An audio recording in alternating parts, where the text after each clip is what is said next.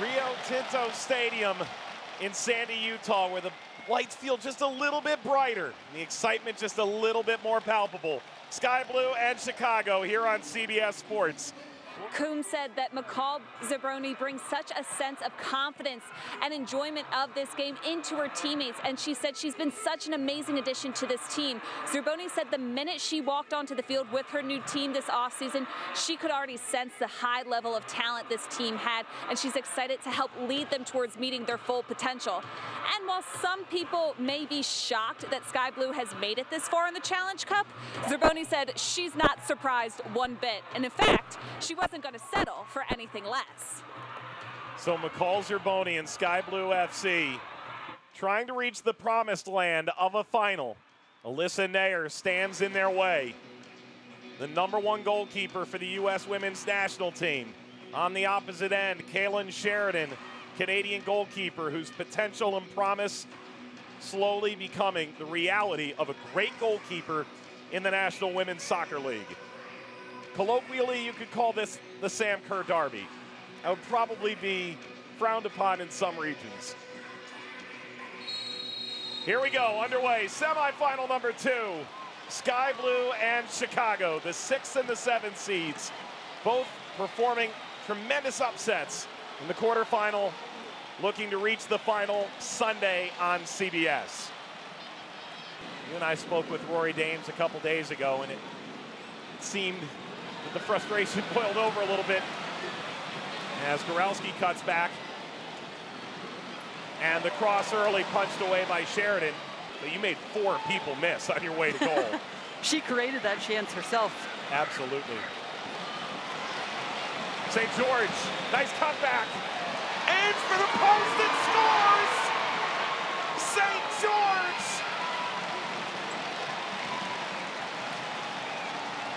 a 2019 marred by injury. And in the semifinal, she's put Chicago ahead. But they're able to keep possession, allowing her to get into attack, her preferred position instead of the right back. And they find her wide open. You can see Estelle Johnson's down on the ground, but it's that little cut there, and then outside of her foot to bend it around Sheridan. That finds the back of the net. That right there baits Lewandowski able to separate herself, use Lewandowski's momentum to buy herself just a little bit more time. It looks like Sabrina Flores is going to be able to recover, but just in time. Kealia Watt on an island, so very dangerous. Able to pull it through now. Watt tried to curl St. George. Able to lift this over. Falls kindly, shot in! Rachel Hill Chicago doubles the lead. You see Kealia Watt splitting these two defenders. Kawasumi and Flores find some space. They cannot clear this ball, and it lands to Georges, puts in another dangerous ball, poor clearance, and then it falls right to Rachel Hill to be able to slot it and put it home past Kale Sheridan. And right now, Sky Blue has to be able to regroup out of sorts. Estelle Johnson out of the game, Skroski in.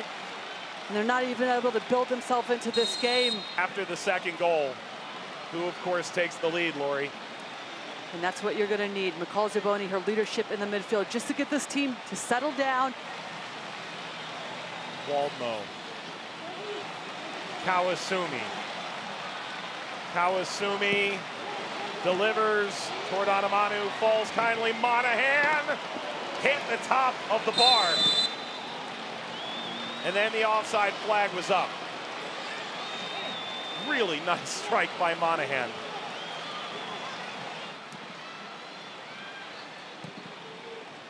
Woldmoe. On a dead sprint, Onumonu trying to get through. Naeher colliding. Julie Ertz.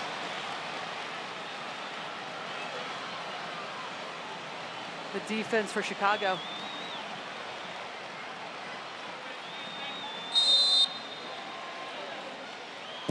Zerboni delivers.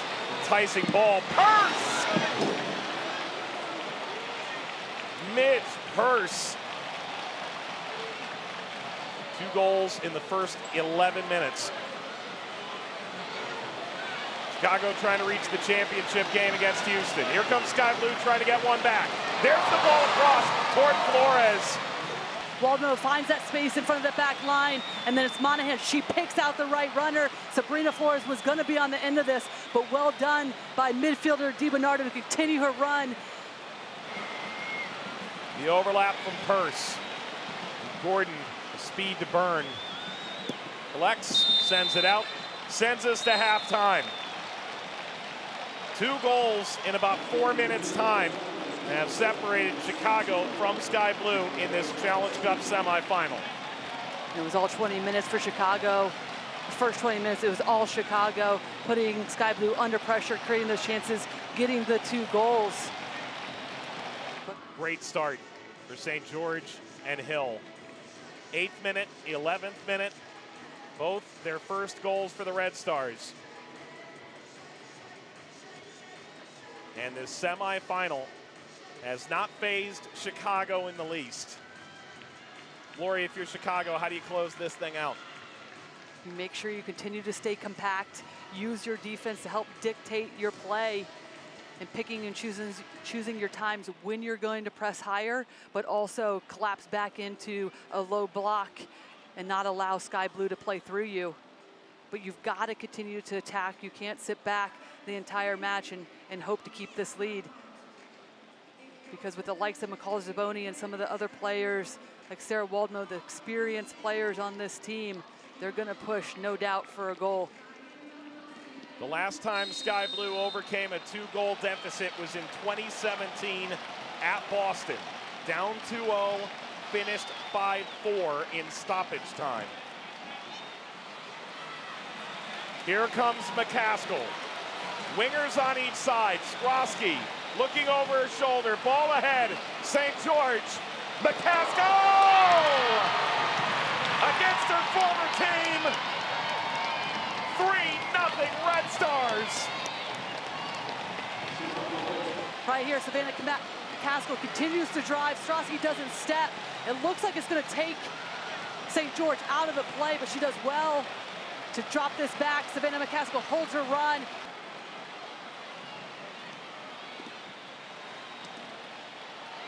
McCaskill plays through Hill. Hill right into Sheridan, made herself big. Goralski.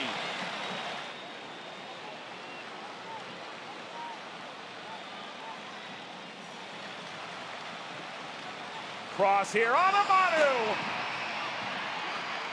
Eventually you start getting the must-haves at a point down three goals like this, and it's steered wide. I was going to think that Sky Blue would look to try to pick a short corner. Woldmoe, header down, and it's in! A giant goal for Sky Blue. Evelyn Viens looked to get the final touch right on the doorstep. The Sky Blue does well to keep this one alive. Guess who it is? But Zerboni just knocks that one down. And it lands to the head of Viens. No one picks her up. You can see Goralski keeps her on side.